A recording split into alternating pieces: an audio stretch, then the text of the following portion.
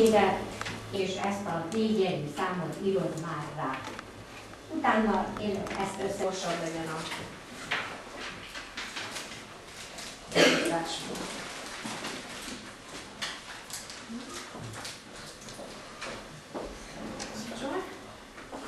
Tehát még egyszer egy olyan jeligét, ami titkos, és egy négyjegyű szám.